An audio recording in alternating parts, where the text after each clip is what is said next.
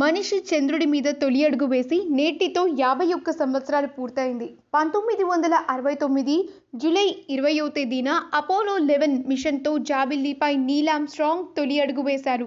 ఎంతో స్ఫూర్తి నింపిన నీల్ ఆడెన్ ఆమ్స్ట్రాంగ్ పుట్టినరోజు ఆగస్ట్ ఐదవ తారీఖు. ఈ సందర్భంగా ఆయన గురించి మరింతగా తెలుసుకునే ప్రయత్నం చేద్దాం. ఆగస్ట్ ఐదవ తారీఖు పంతొమ్మిది వందల ముప్పైలో అమెరికాలోని ఒహియో రాష్ట్రంలో నీల్ జన్మించారు.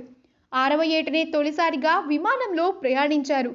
నీల్ ఆమ్స్ట్రాంగ్ ఆ కాలపు వ్యోమగామి పరీక్షా చోదకుడు విశ్వవిద్యాలయపు ప్రొఫెసర్ అంతేనా? నావికాదళ చోదకుడు అంటే నావల్ అవియేటర్ కూడా. ఆయన చంద్రుడిపై కాలు మోపిన మొదటి మానవుడు కూడా. ఇతడి మొదటి అంతరిక్ష నౌక జైమిని ఎనిమిది పంతొమ్మిది వందల అరవై ఆరులో ప్రయోగించబడింది. దీనికి ఇతను మొదటి కమాండ్ పైలట్. ఈ కార్యక్రమంలో మొదటి మానవ సహిత అంతరిక్ష నౌకలో తోటి పైలట్ డేవిడ్తో ప్రయాణించారు.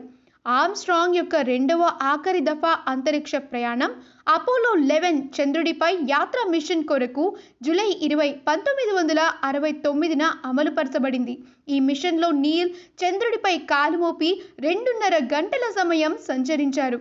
అపోలో లెవెన్ నింగికెగిసిన తర్వాత ఆమ్స్ట్రాంగ్ గుండెలయ నిమిషానికి నూట తొమ్మిది చొప్పున విపరీతంగా పెరిగిపోయింది. జైమిని ఎయిట్ వాహనంలో ఉన్న శబ్దం కన్నా విపరీతమైన స్థాయిలో అపోలో లెవెన్ శబ్దం కూడా ఉంది. ఈ విపరీత పరిణామాలన్నింటిలో ఏర్పడే అంతరిక్ష దౌర్బల్యాన్ని తట్టుకుని అంతరిక్షంలోకి ఎగిసినప్పుడు మానసికంగా కలిగే భయం ఆందోళన అన్నీ అనుభవించారు తట్టుకుని నిలబడ్డారు కూడా.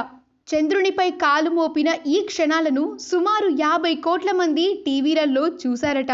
నీల్ ఆమ్స్ట్రాంగ్ తన పదహారవ ఏటనే పైలట్ లైసెన్స్ పొందారు. అయితే అప్పటికీ ఆయనకి ఇంకా డ్రైవింగ్ లైసెన్సే రాలేదట.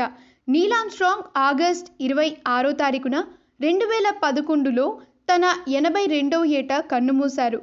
హృదయ సంబంధమైన సమస్యలతో ఆయన చనిపోయినట్లు కుటుంబ సభ్యులు ఒక ప్రకటనలో తెలిపారు.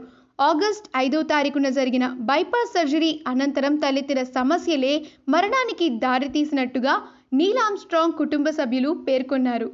అయితే ఆయన ఎక్కడ తుది శ్వాస విడిచారో ఇంకా తెలియరాలేదు. మొట్టమొదటిసారిగా జాబిలిపై కాలు మోపి రికార్డ్స్ బ్రేక్ చేసిన నీల్ ఎప్పటికీ స్ఫూర్తిదాయకం.